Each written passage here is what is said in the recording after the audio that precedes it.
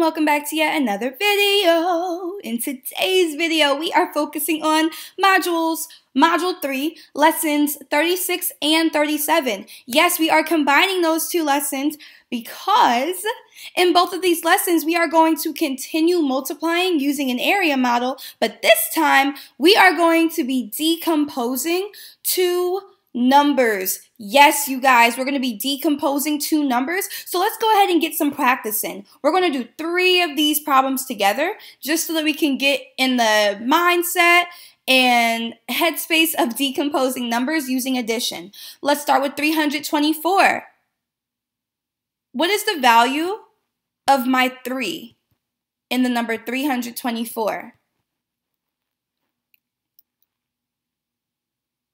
If you said 300, you're absolutely correct. What's the value of my 2 in the number 324? For sure, 20. And what is the value of my 4 in the number 324? Good, it's just 4 because I have four ones. So I had three hundreds, two tens, four ones. Let's actually just do one more and then we can get into our practice for today. 2,498. What is the value of my 2? If you said 2,000, you are absolutely correct. What's the value of my 4? If you said 400, you're absolutely correct. What's the value of my 9? if you said 90, you're absolutely correct. What's the value of my 8? If you said 8, you're absolutely correct. I have two thousands, four hundreds, nine tens, eight ones. So we just got some practice with decomposing numbers, and we're going to need that because today we are going to be decomposing two numbers and multiplying them to find our partial products. Here we go. 14 times 12. Let's go ahead and decompose 14. How would I decompose 14? It equals blank plus blank. If you said 10 plus 4, you're correct. What about 12? 12 equals blank plus blank. For sure, it equals 10 plus 2. So you'll notice today we're decomposing two numbers, whereas last lesson we only had to decompose one number. However, our first number always goes where? Who remembers? Does it go on the side or does it go on the top? If you said it goes on the side, you're absolutely correct. So the number 14, we decompose to 10 plus 4, and that's our first number. So it's going on the side, which means 10 plus 2 is going on the, yeah, it's going on the top. All right, you guys, here's the part where a lot of friends get tripped up. I want you to imagine that when you are in, or actually don't imagine because it's the truth, when you are in the left side of your boxes or in your area model, you're going to look all the way at the top, all the way at the top, and this is going to be the number that you're multiplying by, your second number that you're always multiplying by. Now, if you are in this column on the area model, you're going to look all the way at the top and this is going to always be the second number that you're multiplying by. So for example, I know that for this whole column, I'm going to be multiplying by 2 as my second number. I know in this column, I'm going to be multiplying by what number as my second number? Always. Yeah, 10. And now we just need to figure out what's what we're multiplying by by 10 in this first box. So we always start from left to right, left to right. So what am I going to be multiplying this 10 by? Yeah, 10. All right, same as before, left to right. We're still on our first number, so left to right. What am I multiplying 2 by here? Yeah, 10 again. All right, you guys. Now let's do the same thing for our bottom number on the left-hand side. What am I multiplying 10 by here?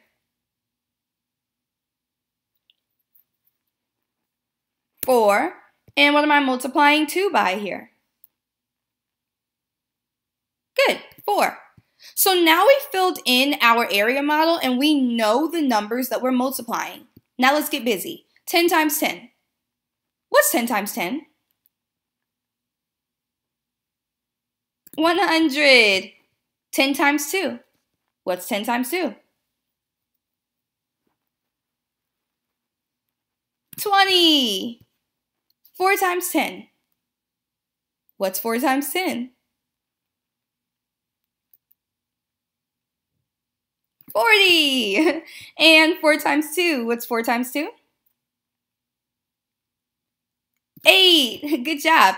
All right, so we found all of our partial products, and now it's time for us to add them. So I like to go in order. So from left to right, left to right, left to right, left to right. So 100 plus 20 plus 40 plus 8.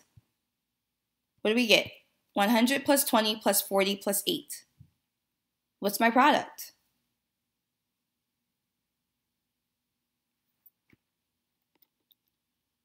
If you said 168, you are absolutely correct.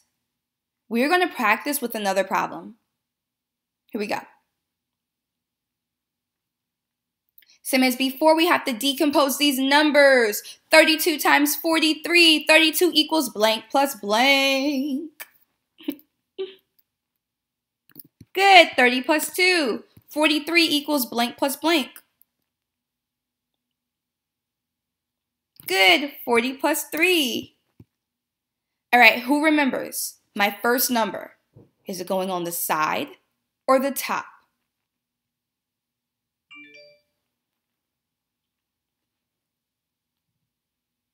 Yeah, it's going on the side. 32 is my first number, but I decomposed it into 30 plus 2, which means 43 or 40 plus 3 is going on the top. Remember, when you're in this column, you know that the number at the top is going to be your last number in each multiplication sentence in this column. So what number is going to go here? Yeah, 40. What number is going to go here? Good, 40. Same for this column. Your number at the top is going to be your last number in each of these multiplication sentences. So blank plus that number, blank times that number. So what number is going to go here? Yeah, 3. And what number is going to go here? Yeah, three. All right, if you need another trick, check this out. We're looking at rows now. What number is all the way on the left-hand side of this row? This entire row right here. 30. So 30 is going to be our first number for each number in this row. Now let's look at this row. What number is all the way on the left-hand side of this row? 2. So 2 is going to be our first number in this row. Now let's go ahead and start multiplying. We might need to use a trick here. 30 times 40. I don't know 30 times 40, but I do know 3 times 4. And what's 3 times 4? 12. In that number, I took away one zero from here and one zero from here in order to make it 3 times 4. So how many zeros do I need to add back in to the number 12? Yeah, two zeros. So don't forget your comma because 30 times 40 equals 1,200. Now let's do 30 times 3. I don't know 30 times 3, but I do know 3 times 3, which is 9. How many zeros did I take away? So how many do I need to add back? That's right, one zero added back. All right, here we go. 2 times 40. I don't know 2 times 40, but I do know 2 times 4, which is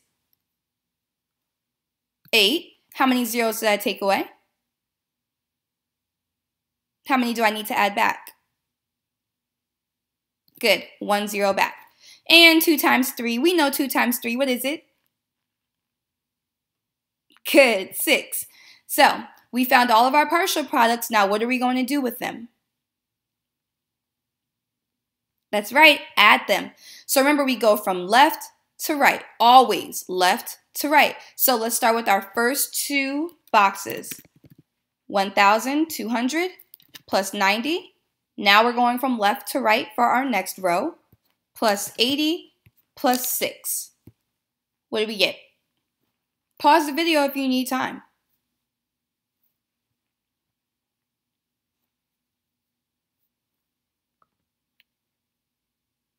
What'd you get?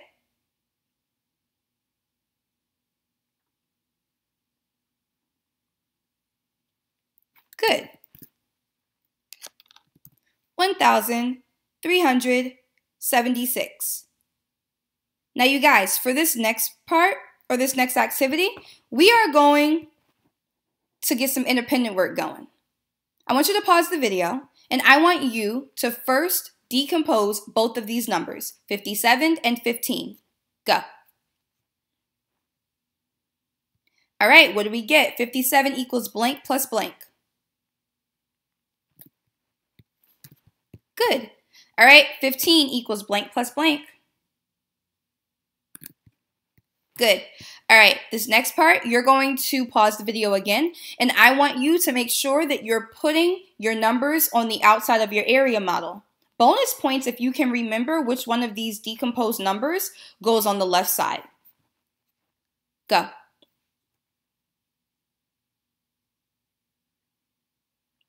What goes here on the left side? If you said 50 plus 7, you're absolutely correct. What goes on the top? If you said 10 plus 5, you're absolutely correct. All right, next step.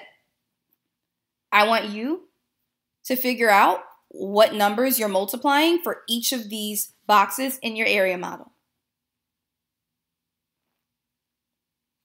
Go. Pause the video. All right, I should be unpaused. In this row, I'm sorry, in this column, what is the last number that, that you're multiplying in this column? If you said 10, you're correct. In this column, what's the last number you're multiplying? If you said 5, you're absolutely correct. Now let's go to our rows. In this row, what's the first number you're multiplying? If you said 50, you're absolutely correct. What about this row? If you said 7, you're absolutely correct. Pause the video. It's your time to multiply. All right, I should be unpaused. 50 times 10 if that number is a little bit too big, I hope that you guys use that strategy to help you. I don't know 50 times 10, but I do know 5 times 10, which is 5. And then how many zeros did you take away? Yeah, 2. So you have to add those two zeros back. All right, 50 times 5. What did you get? 250. Yeah because you're taking away one of these zeros to make 5 times 5, which is 25, and then you're adding that zero back. All right, 7 times 10, what'd you get? 70. And 7 times 5, what did you get? You should have gotten 35. Pause the video. I want you to add all your partial products to find your final product. Go. All right, you should have put 50 plus 250 plus 70 plus 35. We're going from left to right, from left to right. And what did you get when you added 50? I'm sorry, added 500 plus 250 plus 70 plus 35.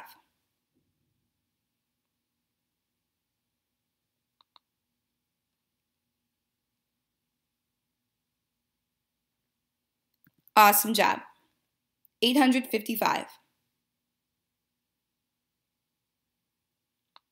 You guys, we've been practicing this for quite some time. If you need some more practice, do this problem right here. And if you want, you can take a screenshot of your answers and then show me a picture of it. You can send me a text, you can email me, you can call me.